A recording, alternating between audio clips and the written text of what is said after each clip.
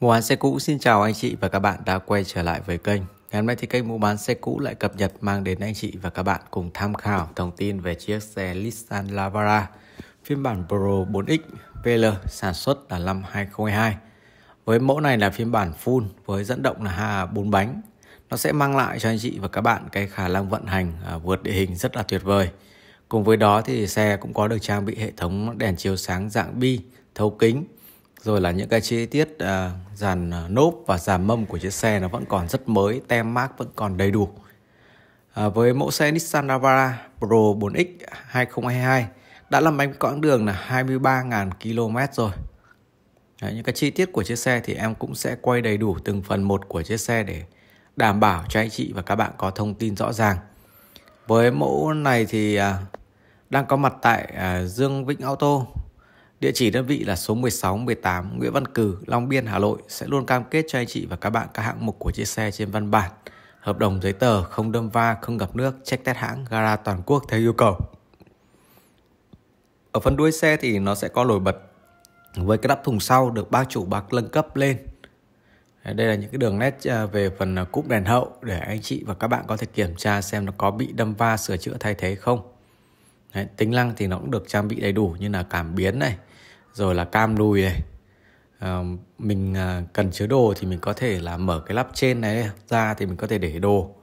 à, vào. Còn khi mà chở đồ nặng thì mình có thể gập ngang cái phần bên dưới xuống để anh chị và các bạn có thể chứa được nhiều đồ. Cái mẫu này thì đa phần bác chủ bác ấy chở đồ nhẹ thôi không có chở đồ nặng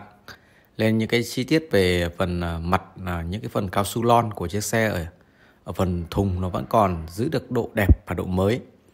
Các con ốc bản lề tất cả các chi tiết để các bác có thể đánh giá được là đuôi là có bị chạm nhẹ hay không hay là có bị à, vấn đề gì không thay thế sửa chữa không. Mình có thể nhìn qua các chi tiết em quay. Còn là anh chị và các bạn mà cần xem rõ hơn chi tiết cụ thể hơn ở chỗ nào thì cứ trao đổi với em. Em sẽ gửi rõ ràng cho anh chị và các bạn có thể tham khảo và cân nhắc. Đấy, kiểu dáng của chiếc xe khi nhìn từ phía sau với kiểu dáng rất là mạnh mẽ và tiếp tới thì em cũng sẽ mời anh chị và các bạn cùng đi ngắm qua về cái không gian à,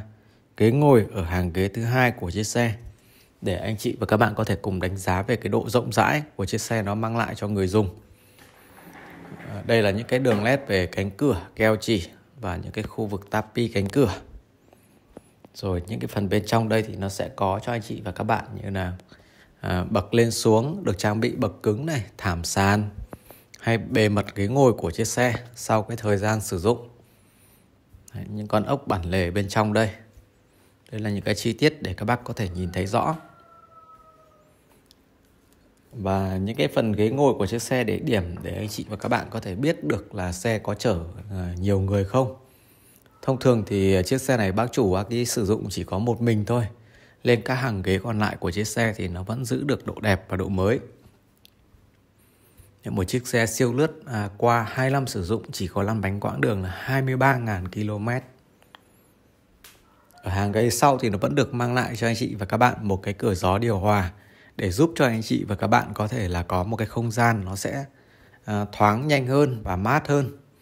Cánh cửa cánh lái của chiếc xe thì nó sẽ mang lại cho anh chị và các bạn như là các phím chức năng lên xuống kính chỉnh gương rồi là gập gương. À, đây là những cái phần keo chỉ đinh tán để anh chị và các bạn có thể tham quan.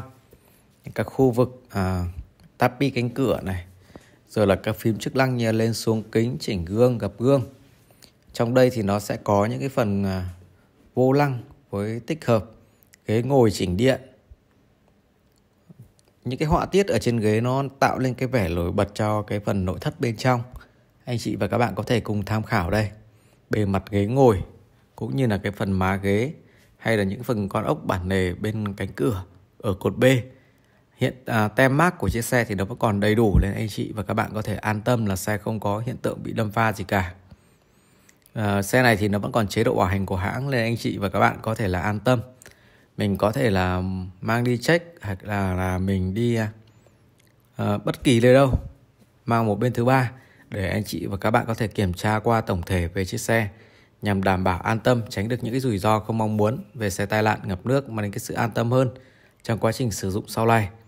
Màn hình giải trí đề lột start top cần số ờ, của chiếc xe được trang bị là hộp số tự động. Nên cái những cái vận hành của chiếc xe này thì nó cũng rất là dễ dàng. Dòng xe của người Nhật thì nó thiên hướng đến cái sự bền lành dễ sử dụng. Đấy, những cái chi tiết ờ, về phần ờ, cần số rồi phanh tay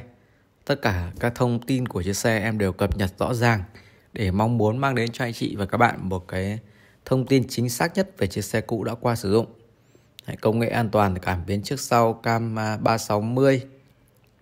và rất nhiều tiện nghi option khác nữa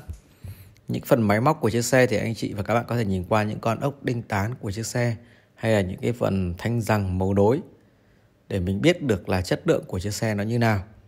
Thế mẫu này thì à, anh chị và các bạn có thể mang vào hãng check vì nó lịch sử rõ ràng bảo dưỡng trong hãng. Với mức giá bán của chiếc xe này, Nissan Lavara Pro Unix 2.2 2.3 à, hai cầu 2022 đang chào bán anh chị và các bạn